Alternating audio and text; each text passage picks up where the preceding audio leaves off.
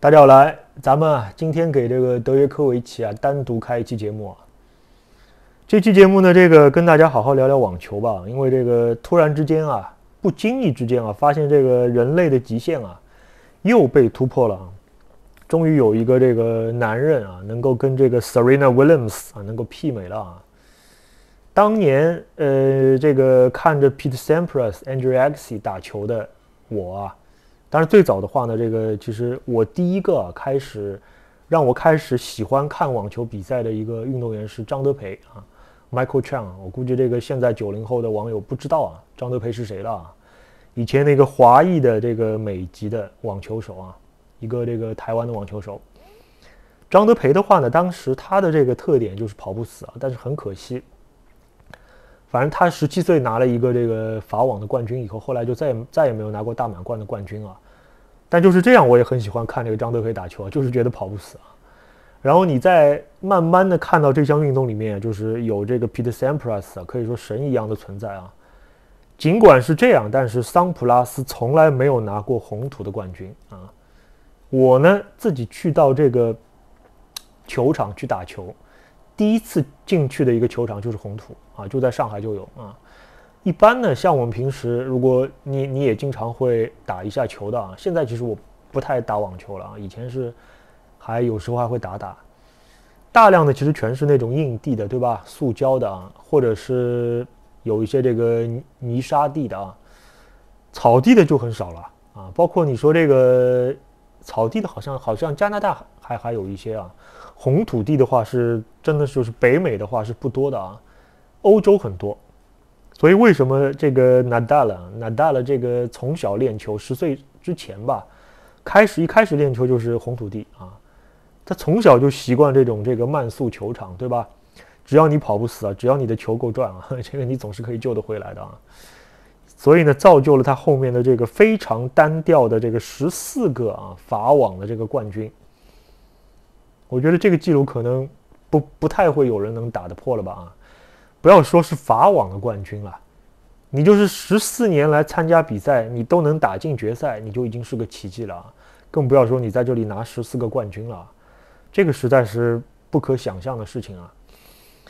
我呢，当年这个第一次去到这个网球场打球，就是一个红土，所以我对红土地的这个印呃印象啊，非常的深啊！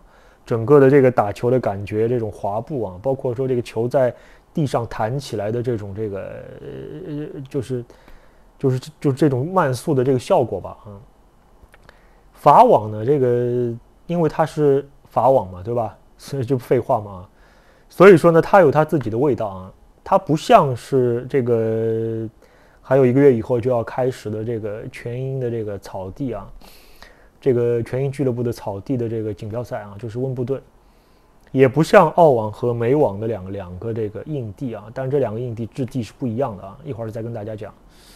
法网呢有它自己的味道啊，除了说它红土的这个慢速球场以外啊，呃，它它而且是大量的，你要知道欧洲在在这个五六月份啊是慢慢进入夏季啊，所以说他在这个他的这个主球场这个飞利浦啊，飞利浦库提，他那个球场就有一句话嘛，对吧？胜利属于最后的这个意志坚韧不拔的人啊。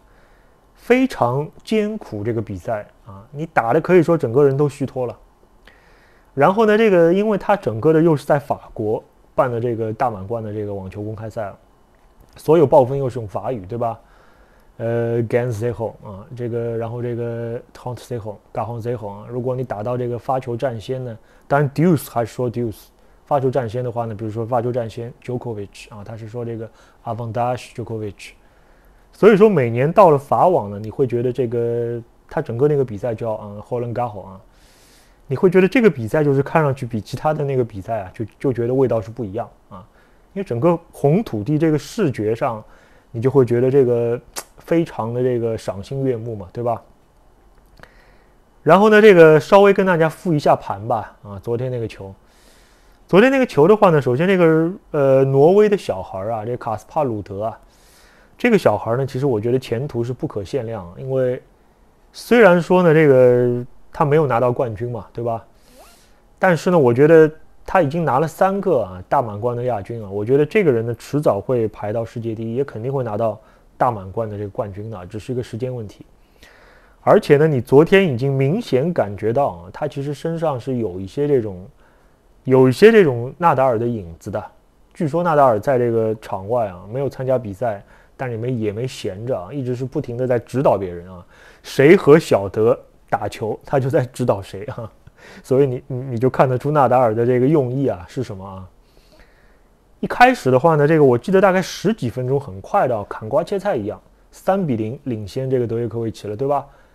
而且这个正手的这个霹雳的上旋球啊，打的也是虎虎生威啊，带着这个强烈的上旋啊，甚至是有些侧旋的这个飘过来啊。反正我我看前三盘这种球，德约科维奇一个都没回过去，全是出界或者下网的啊。靠着这个神力球，一开始就打了一个下马威三比零，马上的让人产生一种幻觉啊，德约科维奇可能是要输球啊。但是就像若干次的这个 Djokovic 啊，就是无数次的这种下风球，对吧？你就感觉他不行了啊。我就记得以前无数次的在草地上，他被这个瑞士天王啊，这个 Federer，整个的就打到已经是满地找牙。Federer 那个球，你知道又又漂亮啊。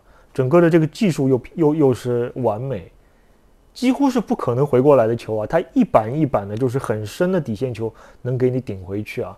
顶着顶着，哎，Federer 一个失误了，全是靠着这样，他就最后给你撑过来啊！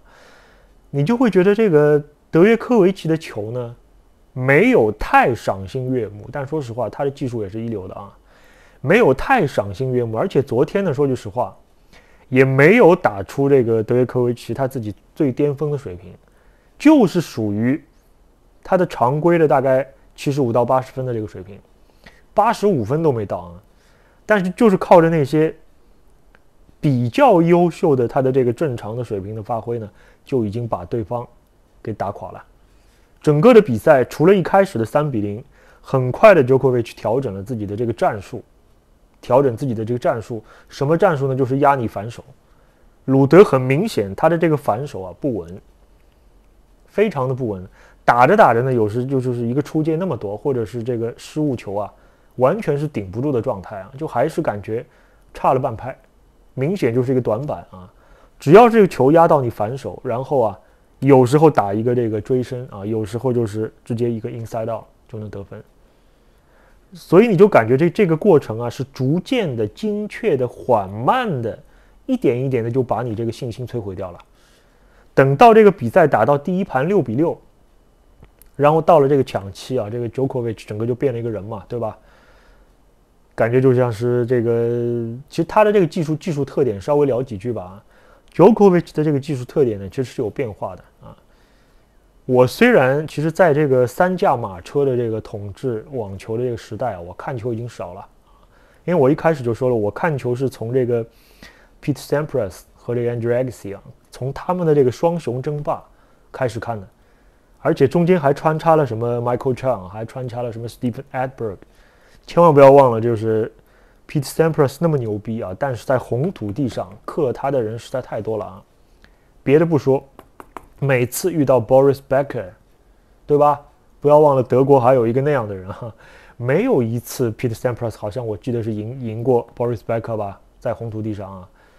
包括还有那种什么 Mara Safin 啊，包括那种什么中间穿插出来过的什么 Laden Hewitt 啊，包括这个老一些的 Jim Courier 啊，包括你你你还有像在红土地上啊打一个球要叫唤一下的一个奥地利的一个这个。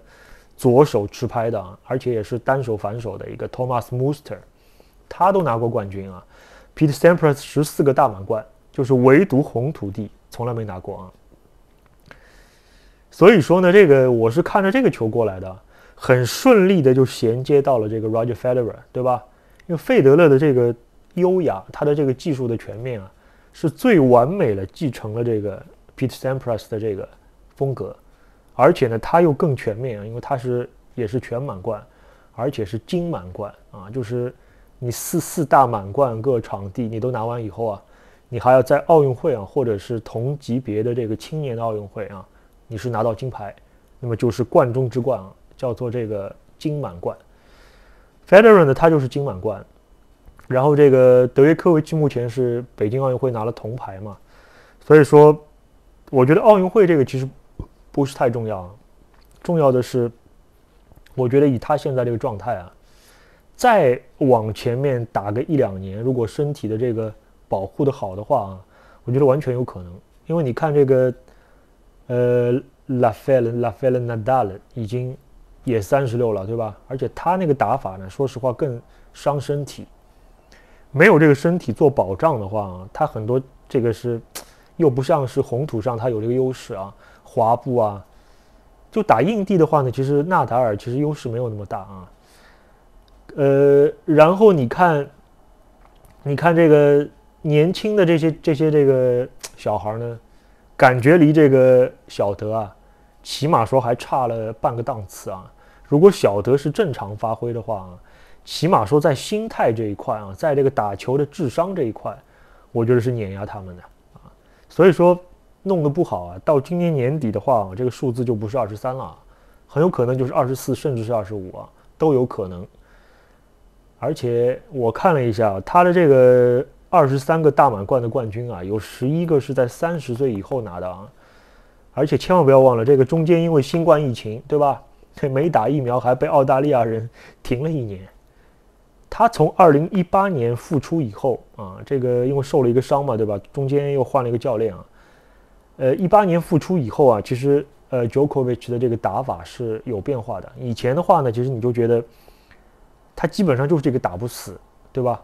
不管你是多么妖怪的球，质量多么的高啊，很多人都放弃了。但是 Jokovic 凭他的意志力啊，他能够把球给你顶回来，而且是高质量的顶回来，因为他以前的这个教练是 Andre Agassi。阿加西的这个反手啊，当年就是被称为这个世界第一，因为正手是世界第一是 Pete Sampras 嘛，对吧？有着这个世界第一的正手，世界第一的这个这个上网 Pete Sampras，但是反手和接发球的世界第一啊，就是 Andrew Agassi 啊，所以你就想想当年这个球有多好看嘛啊！因为他的教练是阿加西啊，所以小德的这个底线球啊，质量非常高啊。你像。他这个受伤以前的那种大范围的，可以说是极限的那种滑步的救球啊，其实在他这个一八年受伤以后的复出啊，不太看到了。但是取而代之的呢，全是那些很深的底线球，这个反而是最杀人的，知道吗？因为这个东西它能够养你的老，就像 Michael Jordan，Michael Jordan 为什么到三十八岁他还能拿 NBA 的冠军呢？靠的就是中投。如果每个球都要突到里面啊去扣篮。去上篮，那我跟你说，没有一个人能够顶得住的啊！像 LeBron James 这种身体是属于妖怪了，一般人是没有这种身体的啊。但就算是这样，你看 LeBron James 今年的这个季后赛打到第四节也打不动了，对吧？因为对面的这个约老师实在是太恐怖了啊！咱们先不说篮球，还是说回来啊，小德的话呢，他现在的整个的这个技术特点啊，一个呢，我就觉得底线球的能力啊上了一个台阶。还有呢，你你看到他大量的，它是增加了这个发球和上网，因为这个也是结合它底线球的这种稳健啊，其实是一个比较匹配的一个打法。尤其你看到了这个抢七，反正最近几年我看到他只要进了抢七，没输过球。为什么呢？因为到了抢七啊，整个人就是变成了一个超级赛亚人一样，直接就是翻了一档啊。如果你就像你开汽车手牌一样的，对吧？之前的话呢，就是一直拖着啊，感觉好像三比三、四比四，不当回事儿啊。甚至到了第三盘四比五的时候啊，对吧？你感觉那个卡斯帕那个鲁德自己自己都觉得好像看到曙光了啊。但是马上就是一个这个发球值得啊，然后这个拿下了这个自己发球就五比五以后啊，兵不血刃的就变成六比五了。六比五以后的话，马上就是。自己发球的一个胜赛局，一上来又是四十比零啊，所以说小德的话呢，他现在打关键球的这个能力是太强啊，经验又很丰富，对吧？而且完全是一个这个，就是一个超级赛亚人的表现啊。我觉得在这个方面，很多的这个年轻选手啊，起码说，我觉得，呃，还得多跟他碰几次吧啊，多碰几次，其实对他们来讲是成长啊。一个是抢七的能力，一个是发球上网，还有就是底线球增加了啊，所以说，以现在的小德这种状态吧，啊，虽然说他有很多的技术啊，其实挺难看的，比如说这个反手，对吧？不如这个 Roger Federer 啊，包括以前的这个 Pete Sampras，因为我们看惯了那种潇洒的这个单反，甚至像以前以前的这个比利时的海宁，海宁当年多少人盼着他就是能够灭一次小威啊，对吧？小威那个样子，那还是个女人嘛？当然，这个不是对他的贬义啊，实在太男子化了。他那个打球就四个字，叫势大力沉，比比男人还男人的这个女子网球选手啊。当然，我我是看过，看过这个有报道啊，说这个 WTA 还真的找了一个世界排名两百零二位的啊，一个这个男子的这个网球选手打一场表演赛，就打了一一盘啊。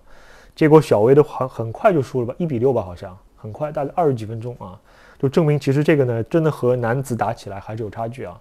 但起码说和女女子的这个选手打起来太男子化，没有一个技术是对方能够正常发挥的。他每一拍过来都是势大力沉啊，就是只有他这个身体是一个勒布朗詹姆斯的身体，那你怎么打得过他呢？这肯定打不过，因为篮球还是五个人，网球就是一个人，他直接碾压你啊啊。好在呢，现在终于是这个 Jokovic 啊，也是拿了三轮的大满贯啊，也是二十三个这个大满贯冠军啊，终于是 有一个男人能够媲美这个 Serena 了啊。所以呢，我我昨天其实不夸张的讲，我第一盘啊看到他打到抢七，然后我看到这个 Jokovic 大比分领先，我就知道啊，今天这场球要赢了，因为这个就是他的一个正常的轨道啊。然后呢，这个。不夸张的讲吧，这个呃 Jokovic 目前的这个，其实很多人不太喜欢他的反手啊。但是我我说句实话，我觉得他的反手虽然不好看啊，但是颇有这个当年这个 Andrew Agassi 的这个味道啊，很简单、很快捷、很实用，而且不管你对对面是这个呃 Rafael Nadal 啊那种这个超级的上旋球，甚至有时候还带着侧旋啊。还是你那种像以前这个瑞士天王，对吧？Roger Federer 那种削的你没脾气的啊，这个削削死你不偿命的那种切削过来啊，他全都能给你回得过去，而且是质量很高的。这个就是厉害，无死角啊！这个其实是他真正厉害的地方啊！而且呢，他现在的这个一发其实是比以前是提高了啊。基本上呢，我觉得以 Djokovic 目前的这个状态啊。他发挥百分之八十，所以一般的就是你你，哪怕是这个现在最优秀的几个年轻的小孩打不过他了。年轻的小孩要打出相当出色的超一流的状态，才能够赢得了 Djokovic 八十分的状态啊！如果他也是只有这个八九十分，打这个 Djokovic 八十分，我觉得打不过啊。更不要说 Djokovic 啊，有时候他他这个到了抢七啊，他能够再给你翻一个档位啊。那就那就是真的不好弄了啊！接下来其实很快，再过一个月嘛，对吧？全英俱乐部草地网球锦标赛啊，就是温布尔顿啊，很有可能吧？我觉得以德约科维奇目前的这个状态啊，弄不好的话，这个今年还有两个，对吧？再收他一两个啊！为什么你说当年这个球那么好看啊？就是你像 Sampras 和 Andre Agassi 两种是截然不同的打法，对吧？而且是分别各自统治了这个网球不同的这个时间段啊，两个人的这个又是共同出现的这个时间段呢，又是在呃有那么大概四五年吧，每一次的这个交锋啊，其实现在想起来是历历在目啊。我印象最深的就是美网啊，大家知道美网的这个场地啊，它也是硬地对吧？但是它这个硬地和澳大利亚的那个硬地是不一样的啊。因为美网的硬地就是我们说的水泥地，上面铺一层很薄的一层塑胶。它这个塑胶的特点是什么呢？就是球打过去啊，它是往前窜，它不像澳网的那个塑胶啊，是相对啊弹性比较好，而且是明显是有颗粒感的，就是说它会有这个增加摩擦，弹性又好，所以偏向于什么底线球好的选手。所以为什么在 Australia Open 整个的这个战绩啊？Andrew Agassi 是打 Sampras 是四比二，但是在美网四次交锋，我印象最深的就是零一年，当时两个人很早就碰到了，阿加西桑普拉斯四分之一决赛，整场比赛没有一局是破发的，去就是最后打了四个抢七啊，看的人是喘不过气来。就是就是你感觉好像哎有人要打破这个平衡，又被对方给保回来了啊！我记得 Sampras 大概拿了大概五六个 break point，一个都没拿下来。阿加西大概也有也有两个吧，两三个啊，也是没拿下来。第一盘的抢七，Pete Sampras 六比三领先，先拿到小分，六比三领先，但是最后是第一盘是 Andrew a g a s i 拿下来啊，九比七，但是后面三个抢七，Peter Sampras 全都拿下了。就是喘不过气来。在美网的场地上，Andrew a g a s i 从来没有战胜过 Peter Sampras，因为他的打法最适合这种快速的这个硬地场。但是反过来，在澳网 Pete Sampras 对阵 Agassi 是二比四，反而是阿加西占先啊！你别小看阿加西，一共只有这个，也不能说一共吧，人家也拿了八个了啊，八个大满贯，但是他是全满贯。啊，他是所有的这个满贯，他是都拿了，所以这是阿加西伟大的地方啊。Pete Sampras 就从来没有这个征服过这个红土地啊。好吧，反正这个就是正好想到了这个网球吧啊。我是觉得啊，因为女子网球，呃，目前是没有人，因为小威已经退役了嘛，没有人能够填补这个，就是像小威的这种这个神一般的存在啊。她也是，好像我看到是这个收入最高的啊，这个女子网球运动员了啊。Jokovic 的话呢，他的这个神话还在继续啊。我们也希望这个小德能够这个继续啊，一如既往的能够这个在在他的这个收集上面吧，能够再完美的战斗下去啊。说不定有一天他也能完成啊，像这个。Steve Graf 啊，就像这个阿加西的这个老婆一样，就是完成这个大满贯的四轮的收集啊。小威是完成了三轮，那目前这个 Djokovic 已经完成三轮了，对吧？但是你像美网和这个温布尔顿，他拿的冠军很多了啊。法网和呃法网和这个美网说错了，草地和这个澳网他拿的很多了。然后这个美网和这个法网。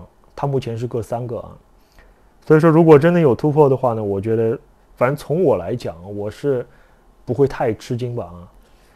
希望这个呃这个纳达尔也也这个不要那么快就退休吧。尽管我从来没有喜欢过这西班牙人啊，他的存在的话呢，我觉得也会激励啊那些这个网球运动员啊进一步的突破人类极限。